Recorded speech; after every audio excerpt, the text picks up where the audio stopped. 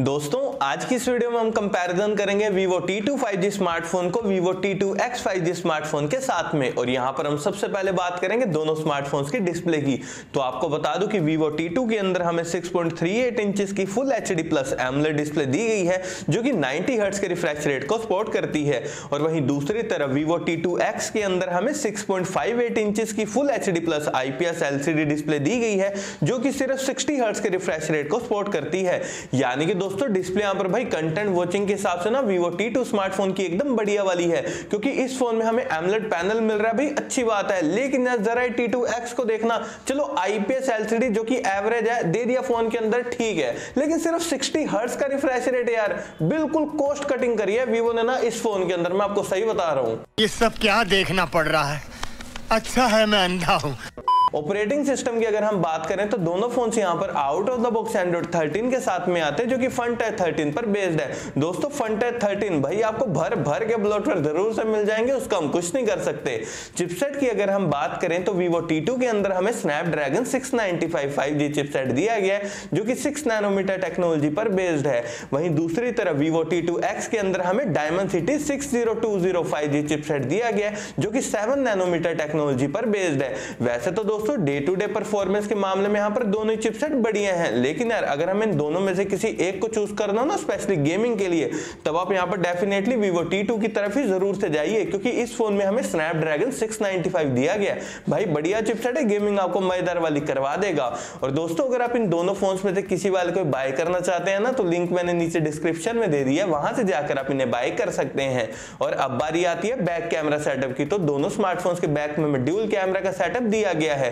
और सबसे पहले हम बात करेंगे Vivo T2 की। तो इस फ़ोन का मेन कैमरा चौसठ मेगापिक्सल का डेप्थ कैमरा है, दो मेगापिक्सल का। वहीं दूसरी तरफ़ Vivo T2X का मेन कैमरा 50 मेगापिक्सल का डेप्थ कैमरा है, दो मेगापिक्सल का। और दोस्तों मेन कैमरा यहाँ पर भाई Vivo T2 स्मार्टफ़ोन का एकदम बढ़िया है, क्योंकि जो चौसठ मेगापिक्सल का कैमरा है ना, काफ़ी अच्छी फ़ोटो और वीडियो आपकी क्लिक कर देगा।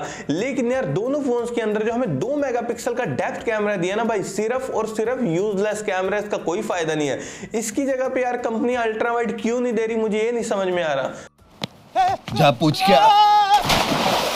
दोस्तों पता क्यों नहीं दे रही? क्योंकि उन्हें पैसे बचाने सिर्फ़ इसलिए।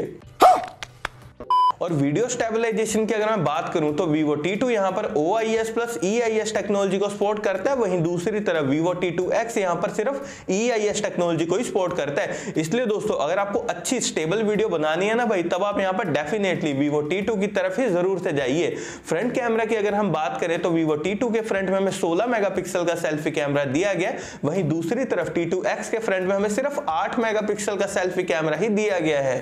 सिर्फ़ 8 मेगापिक्सल का सेल्फी कैमरा कैमरा इसलिए दोस्तों सेल्फी लवर्स के भी हिसाब से यहाँ पर Vivo T2 स्मार्टफ़ोन ही विनर है। और मैक्सिमम वीडियो रिकॉर्डिंग आप दोनों फ़ोन के फ्रंट और बैक कैमरा से 1080 पिक्सल तक ही कर सकते हैं। और अब बारी आती है बैटरी डिपार्टमेंट की। तो यहाँ पर Vivo T2 स्मार्टफ़ोन पैंतालीस सौ की बैटरी के साथ में आता है, जो की चौवालीस वोट की फास्ट चार्जिंग को सपोर्ट करता है। वहीं दूसरी तरफ़ T2X के अंदर हमें पाँच हज़ार की बड़ी बैटरी दी गई है, जो कि सिर्फ़ 18 वोट की फास्ट चार्जिंग को सपोर्ट करती है। दोस्तों, सिर्फ़ 18 वोट का सपोर्ट हमें इस फ़ोन में मिल रहा है। भाई, समझ पा रहे हो गेम क्या चल रही है?